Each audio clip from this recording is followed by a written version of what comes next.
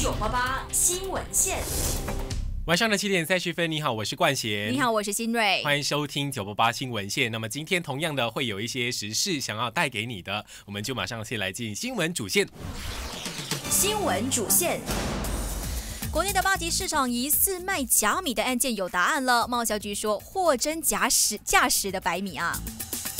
没有最胖，只有更胖。全球百分之三十的人超重，每年百万人过胖死。True Fitness 说倒闭都怪消费税 G S E，而会员就直指这根本就像金钱公司。大马人的薪金低，如果扣除通胀率的话，涨薪或者只肯等于二十令吉。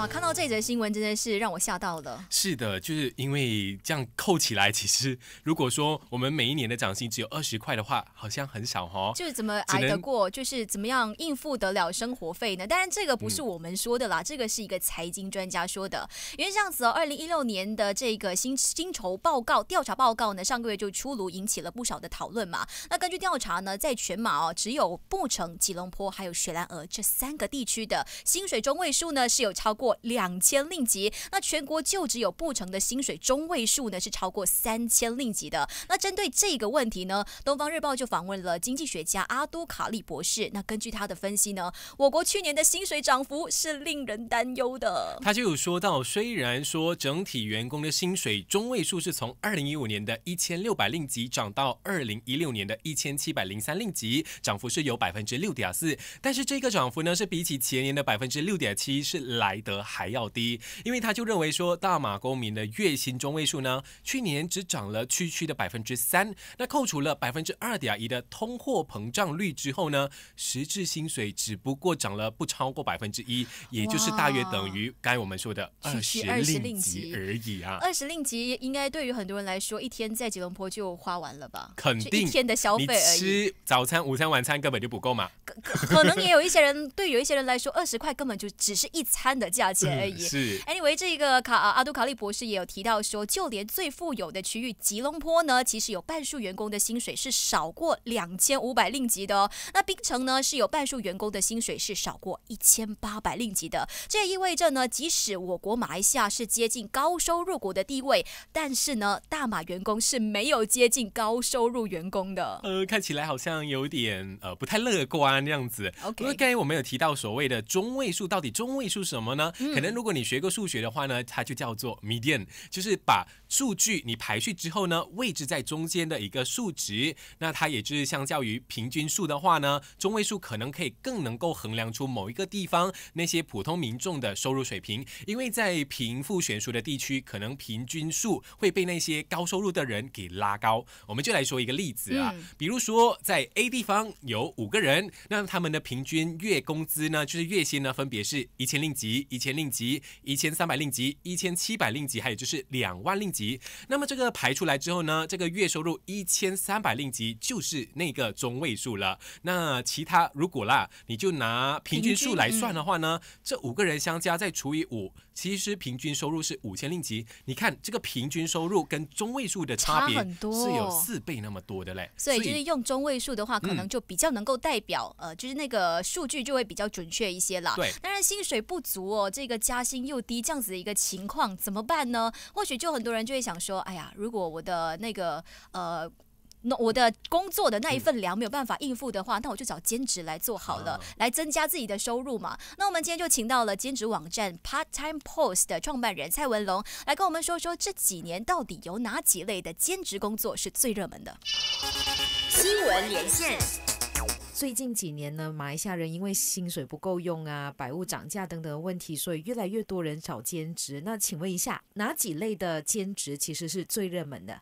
最热门的零售还有餐饮业，这两个是两大需要很多的那个兼职的那个两个行业。第三就是教育的，类似安亲班和他们他他们需要的就是他们老师，还有包括也包括补习老师。那你认为啊，做兼职其实有什么一些需要注意的事情？比如会不会跟正职有冲突啊？安全问题？现在他们需要关注的就是他们自己的时间的安排，他们能不能呃在不影响自己正职的那个时间下，能安排出时间来来来处理他的兼职。利益冲突就是在他们职场上，他们所做的正职呃和他们兼职一定不能产生那个利益冲突。然第三呢，我们就很关注的就是他们的那个兼职的那个安全的问题，就是正当的兼职和非法的，它我们叫叫 scam jobs 啊，它其实不是一个工作，其实是一个他们招会员，但是他们可能在进行 money game 的一些活动的这种的类类似的广告。我们会关注公司的背景，他们是来自来自来自哪里，他们有没有呃合法的注册公司。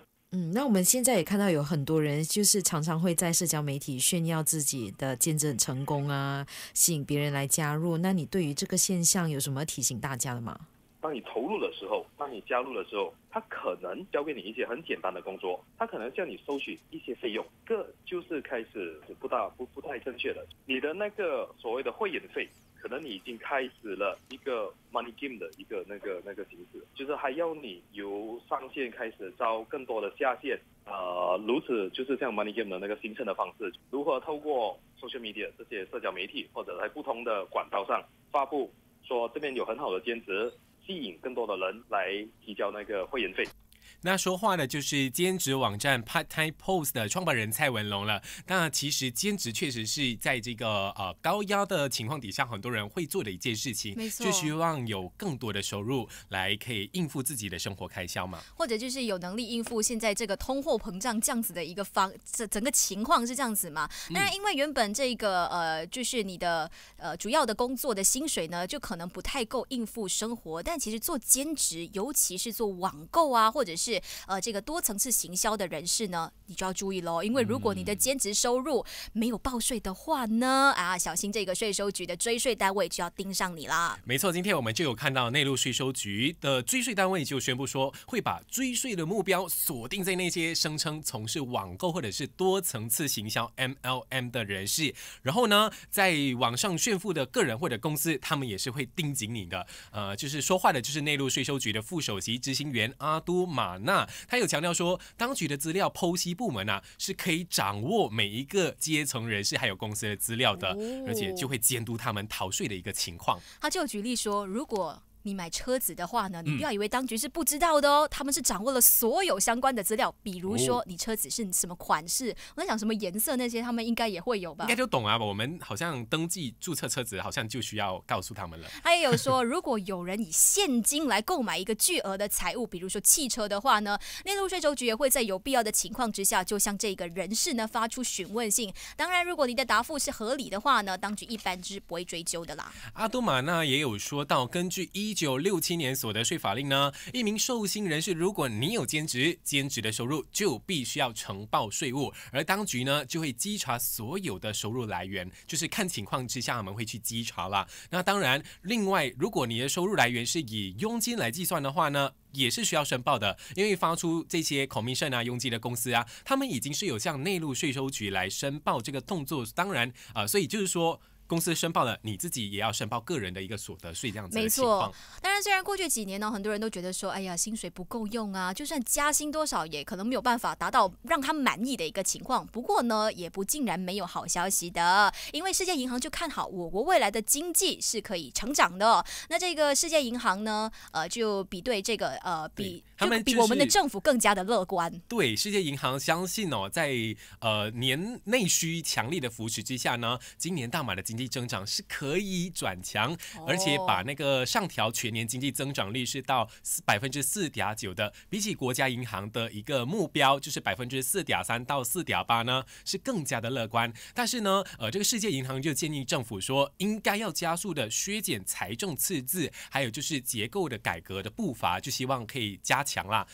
那在世界银行的这个东南亚区域董事吴立查豪，他在推介大马经济观察报告九九说呢，这个私人消费预料是持续成为经济增长的主要的这个引擎。那主要是这个劳工市场啊，还有薪酬增长是依旧是强稳的，同时私人投资也是获得政府主导的大型。基础建设工程等等的基本开销扶持，所以呢是有望延续稳定增长的这个走势的。另外，美国经济的增长加快，还有全球原产品价格的趋稳等等外围的因素，都可以为经济增长带来更多的一个正面的扶持。不过，尽管出口的增长是趋强，但是世界银行预见哦，今年这个经常呃经常账盈余是呃这个占国内生产总值 GDP 呢，这个比对恐怕呢是进一步会下滑到百分之一点六的。那主要是归咎于资本还有中介产品总进出总进口的这个跑赢出口，同时呢服务账赤字呢是进一步扩大哦，这个也进也将为这个经常账盈利呢带来压力的。不过呢，世界银行是相信说我国的货币政策呢依旧适中，并且会持续为经济带来这个扶持。当然，看到这样子的消息，我在想，如果说我们的经济增长的话，是不是我们的薪水也有望可以继续增长呢？其实要经济增长，也需要我们薪水增长，然后来多消费，可能就可以经增长啊。就像刚才世界银行有提到的，你是说双向影响的意思吗？这都是互相影响的，经济就是这样好玩的。好，希望国内各大企业老板们都听到这番话喽。对，为了你的未来，为了员工未来哈。每日一字。好，今天的每日一字就选来“新城胖”这三个字。那第一个字“新”呢，说的就是刚刚提到的这则新闻了。薪水涨幅太低吗？那个经济学家就说，扣除通胀率的话呢，员工加薪恐怕不到百分之一。B 的字是“橙”字，就提到说，呃，保障乘客的安全，陆路公共交通委员会就要求电子召车服务从这个月的十六号开始，呈提升司机的背景资料。等一下我们回来就会跟你分享这则新闻。没错，待会会会为你跟进的就是第三个字“胖”说的这则新闻，就是全球的超重人口是高达二十二亿人，而且呢，每十个人当中就有一个人有肥胖的问题。那今天这三个字到底哪一个字会代表你今天的每日一字呢？欢迎上到我们的官方微 WeChat 去投选 FM 九八八 underscore my。